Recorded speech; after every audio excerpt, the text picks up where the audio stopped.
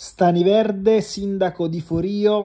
Cosa emerge da questo incontro con tutti i sindaci dell'isola, dell'isola d'Ischia? Quali garanzie e qual è anche l'umore dopo aver parlato con la Giunta? Innanzitutto emerge una volontà comune dei sei sindaci di affrontare il problema del turismo, di questa crisi turistica che ci sta investendo e di affrontarla eh, tutti quanti insieme. Forse è la prima volta che eh, i sindaci si recano qui in regione per eh, parlare e, e, condividere una strategia comune.